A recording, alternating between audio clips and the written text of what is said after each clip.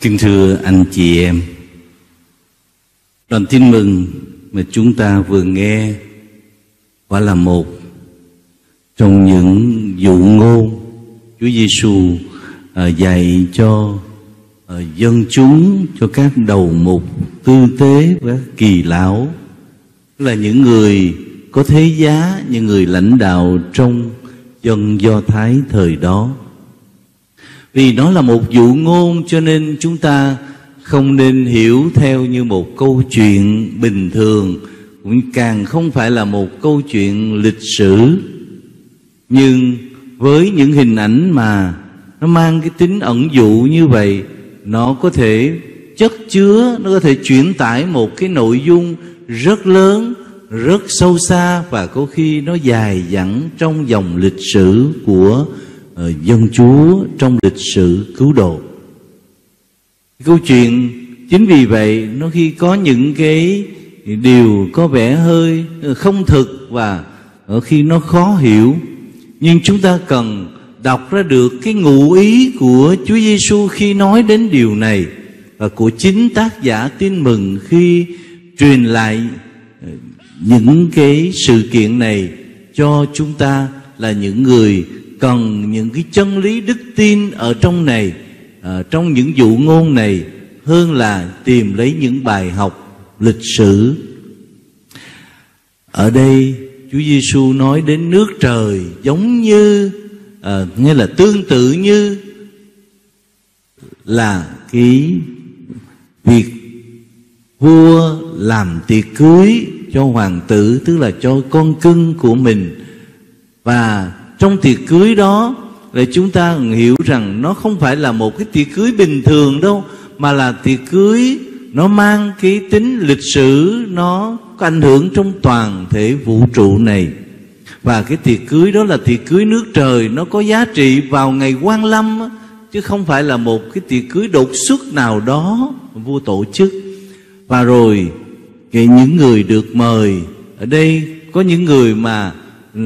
những gọi là quan khách đó họ được mời khi không phải vì danh thế hay là, hay là gì cả không nghe nói đến những tiêu chuẩn để được mời mà có lẽ vì lòng tốt vì lòng thương của vua được có thể nói đó là hình ảnh mà Chúa Giêsu nhắm tới những người dân Do Thái, những người dân riêng của Chúa được chính Thiên Chúa mời tham dự vào trong tiệc cưới nước trời ấy. Nhưng họ không quan tâm gì tới tức là họ dững dưng coi thường và không muốn chấp nhận lời mời tham dự vào tiệc cưới nước trời tiệc cưới của ơn cứu rỗi. Rồi có những người khác à, khi được rồi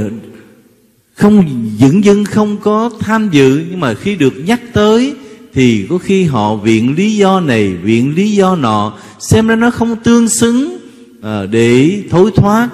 À, có người còn có những cái phản ứng à, táo bạo hơn ngạo mạn hơn là bắt các đầy tớ đi mời đó của vua để mà giết chết. À, chắc chắn cái điều đó làm phật lòng vua. Nhưng mà cái sự kiện mà à, Chúa Giêsu nói đến là vua tức tối để sai người đến tru diệt những cái kẻ gian ác những kẻ sát nhân đó và phá hủy thành phố của họ. Các nhà chú giải để nói rằng có thể nói khi mà Matthew viết cái sự kiện này thì nó ông đã cảm nghiệm được cái kinh nghiệm mà thành Jerusalem bị phá hủy à, tàn phá không còn hòn đá nào nằm trên hòn đá nào vào năm 70 à, ờ, cái thực tế đó cũng nói đến những cái con người mà chống lại cái ý định tình thương của Chúa, cái sự nhẫn nại bao dung của Chúa, đôi khi nó cũng rơi vào trong những hoàn cảnh khó khăn, có những hoàn cảnh rất là tan thương. Có những người sau này nhìn lại đoạn tin mừng này dưới ánh sáng ờ, đức tin, họ có thể nhìn thấy những cuộc ngạo mạn như chiếc tàu Titanic, một chiếc tàu mà người ta có thể khắc lên trên đó là không có thiên chúa, không có giáo hoàng. Tức là không cần niềm tin gì hết. Và họ cũng tự hào là không gì có thể mà cản trở họ được. Nhưng rồi chiếc tàu đó thì chở cả một tám trăm người đã bị chìm sâu xuống lòng biển trong sự ngạo mạn có thể nói đó là những cái cuộc như là tàn sát mới nhưng mà chắc chắn không phải là do cái thiên chúa tình thương uh, cố tình làm cái điều đó. Nhưng khi con người xúc phạm đến thiên chúa khi con người ngạo mạn con người không có để cho cái con tim của mình mở ra trước tình thương của chúa thì cũng rất ừ, dễ họ rơi vào trong những hoàn cảnh tan thương, chết chóc như vậy. Thực tế đó khiến chúng ta có thể nhìn đến, hiểu được cái ý nghĩa lịch sử ở trong cái điều mà Chúa Giêsu à, dạy qua dụ ngôn này. Rồi đến những sự kiện mà ừ, Chúa sai à, à, vua sai, các đầy tớ mình đi ra mời tất cả những cái người mà có không biệt, phân biệt tốt xấu ở ngã ba đường, ngã tư đường để mời vào dự tiệc cưới. Điều đó cũng muốn nói lên rằng khi mà dân riêng của Chúa, dân được ưu tiên mời gọi vào dự tiệc cưới nước trời ấy, không tỏ ra xứng đáng, không thèm tham dự, thì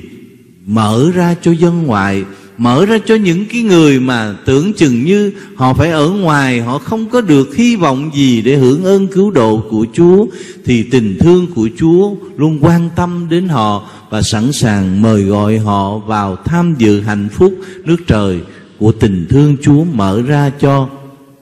Nhưng rồi có một cái sự kiện, có lẽ người ta cũng cảm thấy đặt vấn đề là trong số đó khi vua đi vào thì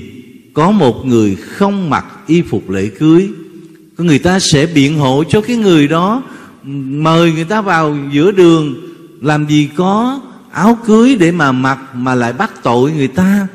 Nhưng ở đây cũng là ý nghĩa của cái dụ ngôn chứ không phải là một cái câu chuyện bình thường. Cho nên áo cưới ở đây muốn nói là cái tâm hồn xứng hợp. À, có thể không phải là cái chiếc áo mặc ngoài mà là cái chiếc áo nói lên cái tinh thần cái tâm tình của mình khi đi vào tham dự tiệc cưới ấy ờ, à, chiếc cưới, áo cưới ấy muốn nói ngày hôm nay với ánh sáng của lời Chúa trong thư Phaolô là cái người tham dự tiệc cưới đó phải mặc lấy Đức Kitô mặc lấy cái tâm tình của chính Đức Kitô là hoàng tử là con dấu ái của Thiên Chúa để phù hợp hơn với tình thương mời gọi Thiên Chúa dành cho. Kính thưa anh chị em, lại qua dụ ngôn đó, chúng ta được mời gọi để nhìn lại nhìn lại một cái sự kiện quan trọng bao trùm cả lịch sử cứu độ này. Lịch sử mà từ đầu cho đến cuối, thiên chúa luôn luôn muốn yêu thương và cứu độ con người, muốn cho con người được chia sẻ hạnh phúc vĩnh cửu của thiên chúa trong nước trời. Đó là điều chúng ta cần khám phá cũng như chính bài đọc thứ nhất hôm nay qua sách ngôn sứ Ezekiel qua đó Ezekiel đã diễn tả cho thấy lòng của Thiên Chúa quan tâm đến từng con người là thuộc dân riêng của Chúa. Đó là một cái dân bao trùm tất cả cộng đồng nhân loại này. Một cái dân đó có thể bị lưu đày vì tội lỗi của mình, trở nên xấu xa vì những bất xứng của mình đó. Nhưng mà Thiên Chúa luôn yêu thương, Thiên Chúa muốn giải thoát họ, Thiên Chúa cứu chữa họ, Thiên Chúa thanh tẩy họ và Thiên Chúa đổi mới họ bằng cách ban cho họ một trái tim, một trái tim biết yêu thương, một trái tim biết cảm nhận tình thương của Thiên Chúa dành cho mình. À, đó chính là tình thương của Thiên Chúa mà chúng ta được mời gọi để khám phá ra. Người ta kể lại rằng có một ừ, em bé, bé trai, có lẽ luôn luôn nó mang cái mặt cảm là mình xấu mình dở mình không có ra gì và không ai thương mình hết cho nên lúc nào cái mặt nó cũng buồn và nó tỏ lộ những cái thái độ có vẻ tiêu cực có vẻ khó khăn khó chịu lắm. Vào lớp học thì nó cũng hay uh, tỏ cái thái độ thiếu tự tin. Ở khi mà thầy cô hỏi bài thì nó lúng ta lúng túng nói không nên lời và cái thường như vậy thì chắc chắn là không có được thầy cô khen không được bạn bè nó quý mến trân trọng. Và về nhà nó cũng thế. Dĩ nhiên ba nó thì hiểu nó và chắc chắn là thương nó. Cái một lần ông mới à, kêu các con lại và nói rằng hôm nay thì ba mới vừa hỏi người hàng xóm um, xin ông một số những cái cây nhỏ này để về cho chúng con thi đua để trồng. Và ba hứa là ừ, đứa nào cây của đứa nào mà trồng chăm sóc nó lên tốt nhất á, thì ba sẽ thưởng cho đó một phần quà. À, thế là mỗi đứa con đều lãnh một cái cây và đều ra chọn vị trí để trồng. À, ban đầu thì cái em bé này cũng uh, cảm thấy hứng khởi cũng muốn trồng. Nhưng mà tự nhiên rồi thấy các anh à, anh chị của mình em của mình nó cũng chăm sóc. À, thấy tự nhiên trong đầu nó lại nghĩ đến một cái, cái nghĩ tiêu cực. Không muốn làm. Muốn cho cái cây của mình nó chết đi cho rồi. Không cần gì phần quà. À, cho nên nó tưới được hai lần không tưới nữa. Thế nhưng rồi hai tuần sau thì tự nhiên thấy các cái cây kia thì cũng lên mà cũng chưa có mạnh lắm. Còn riêng cái cây của nó thì lại thấy nó ra những cái cành lá có vẻ mạnh. Là và nó hé, nở ra những cái nụ có vẻ tốt. Nó ngạc nhiên lắm, không hiểu tại sao như vậy. Và nó phát triển thêm một tuần nữa thì thấy cây nó phát triển hẳn lên. Thế là ba nó khen ngợi và ừ, thưởng cho nó mua phần quà thưởng như ông đã hứa. Thế rồi một đêm kia nó nằm nó suy nghĩ nó thấy nhớ lại ông thầy dạy uh, về uh, sinh vật nói rằng cái, cái các cái cây rồi thực vật thì nó sẽ uh, phát triển trong đêm tối. Cho nên uh, nó cũng tò mò nó nghĩ thôi bây giờ không ngủ được chạy ra để coi tối nay cái cây của mình nó phát triển như thế nào. Khi nó mon men đi ra thì nó phát hiện ra là ba nó đang bón phân và đang múc nước để tưới vô cái cây đó. Lúc đó nó mới hiểu ra được rằng ba nó thương nó ba nó muốn cho nó được phần thưởng. Thế là nó chạy ù té về phòng và nó úp mặt vô bàn tay và khóc lóc. Thưa anh chị em, có lẽ đó cũng là một sự kiện mời gọi thúc nhắc mỗi người chúng ta đừng đừng quên rằng chúng ta dù thế nào đi chăng nữa, chúng ta vẫn có một thiên chúa là cha chúng ta, đấng luôn muốn cho chúng ta được sống đời con cái ừ, hiếu thảo, sống đời con cái hạnh phúc của ngài và được mời gọi vào dự tiệc cưới nước trời và được hưởng hạnh phúc thiên đàng đời đời trong tình thương của Chúa. Đó chính là điều căn bản mà chúng ta có lẽ không nên và không được phép quên điều đó. Ta ý thức để hiểu rằng có biết bao nhiêu, Dù cho có biết bao nhiêu lần chúng ta tỏ ra bất xứng, Dù chúng ta có hiểu hay không hiểu, Thì Thiên Chúa và tình thương của Ngài vẫn có đó, Vẫn luôn lớn lao và có khi càng trào tràn hơn Đối với chúng ta trong cuộc sống này Cho nên chúng ta cần ý thức được như vậy để không mãi tiếp tục lạm dụng tình thương của Chúa, không mãi tiếp tục phí phạm những ơn phúc mà Chúa dành cho mình. Để trong cuộc đời này chúng ta biết rút kinh nghiệm, biết sống, biết sửa đổi, biết càng ngày càng mặc lấy Đức Kitô, càng ngày càng mặc lấy cái tâm tình của người con Thiên Chúa, một người hiểu được lòng Chúa yêu thương mình và cũng biết cách sống cho xứng hợp